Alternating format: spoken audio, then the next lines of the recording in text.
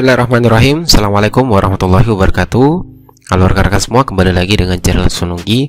Baiklah, di kesempatan yang baik ini kami kembali akan memberikan update informasi terbaru seputar P3K Guru di tahun 2021 Tentunya di sini ada informasi penting terkait dengan pelaksanaan untuk P3K di tahap 2 maupun hasil dari eh, hasil final ya, hasil final atau pengumuman pasca sangga untuk P3K tahap 1. Karena di sini baru saja kita mendapatkan informasi resmi langsung dari Kemendikbudristek. Oleh karena itu seperti biasa, sebelum kita ke informasi selengkapnya terkait dengan informasi P3K tahap 1 dan P3K tahap 2 rekan-rekan sekalian yang baru pertama kali menemukan channel ini jangan lupa untuk tekan tombol subscribe-nya dan aktifkan lonceng notifikasinya agar siap kami mengupdate informasi-informasi terbaru seputar P3K rekan-rekan yang pertama kali mendapatkan notifikasinya. Oke, terima kasih teman-teman.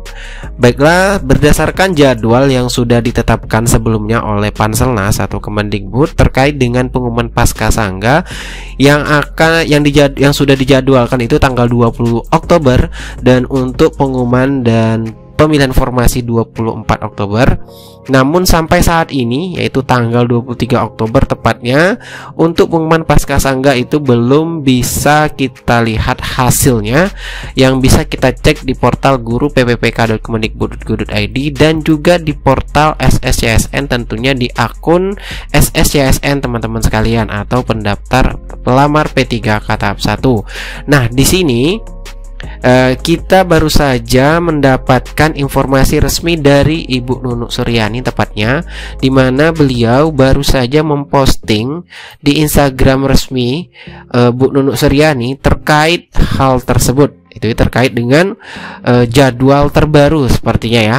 Nah, kita langsung saja lihat di sini Postingan dari Bu Nunuk Soryani, Bapak Ibu guru yang terhormat, pengumuman hasil sanggah 1 dan pengumuman dan pemilihan formasi 2 atau tahap 2 ya, mengalami kemunduran. Revisi jadwal akan segera disampaikan di portal resmi guru pppk.kemendikbud.go.id. Terima kasih. Nah, kemudian Bu Nunu menjelaskan lagi, mohon perhatian Bapak Ibu guru yang terhormat. Seperti itu. Jadi di sini teman-teman, ini secara resmi sudah disampaikan langsung dari pejabat Kemendikbud, tentunya ini dari Bu Nunu Seriani selaku Sekjen GTK Kemendikbud yang tentunya juga menjadi bagian dari panitia nasional ya atau Panselnas untuk seleksi P3K guru di tahun 2021 ini sudah menginformasikan secara resmi atau secara langsung di media sosial beliau atau di tempatnya di Instagramnya bahwasanya untuk jadwal P3K Guru di tahun 2021 ini mengalami lagi revisi teman-teman. Jadi di sini kita menunggu kembali terkait dengan adanya nanti kemungkinan atau pastinya surat edaran atau pengumuman yang menjelaskan terkait dengan penyesuaian jadwal atau uh, revisi jadwal untuk P3K pelaksanaan seleksi guru ASN P3K tahun 2021. Dan sesuai dengan jadwal kalau kita lihat untuk di tanggal 24 itu tepatnya besok ya teman-teman hari Minggu. Itu sudah dilakukan pengumuman pemilihan formasi tahap 2 namun sampai detik ini sesuai dengan penjelasan dari Bu Nunuk Suryani mengapa hal tersebut belum juga disampaikan tentunya ada revisi jadwal dan pastinya juga ada penyebabnya.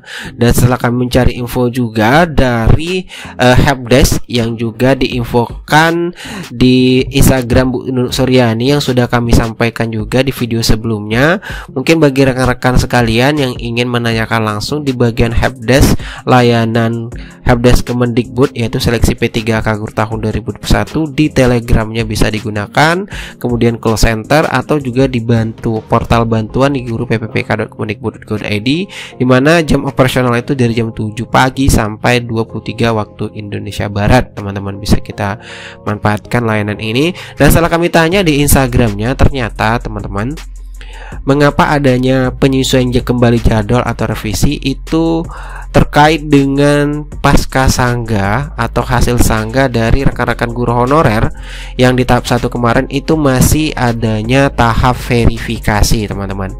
Jadi terkait dengan hasil sangga yang belasan ribu yang melakukan sanggahan untuk P3K tahap 1 sebelumnya sudah dilaksanakan yang sudah diumumkan juga prasanggahnya yaitu pada tanggal 8 Oktober kemarin ternyata itu masih dalam tahap verifikasi. Jadi kita tunggu sama-sama menunggu di portal guru pppk.kemendikbud.go.id terkait dengan penyesuaian kembali jadwal tahapan pelaksanaan seleksi guru ASN P3K tahun 2021 dan juga silakan juga cek secara berkala untuk di portal portal SSCSN rekan-rekan sekalian atau di akunnya masing-masing.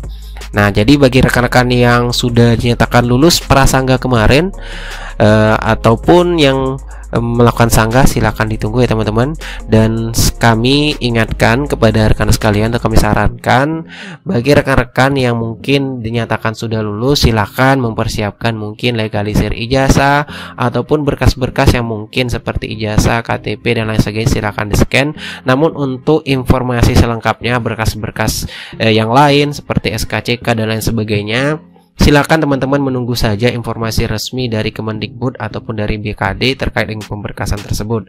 Karena sampai saat ini memang masih adanya revisi jadwal untuk tahap untuk menuju ke tahapan pemberkasan.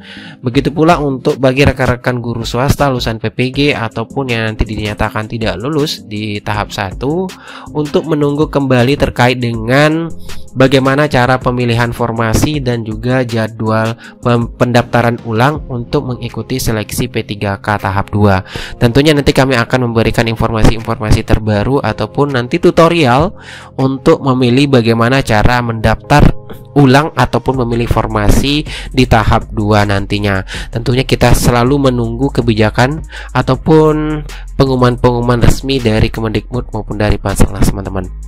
Itulah informasi yang dapat kami sampaikan. Sekian dari Usmanugi. Tetap sabar menunggu dari hasil sanggah maupun untuk pemilihan formasi di tahap 2. Assalamualaikum warahmatullahi wabarakatuh.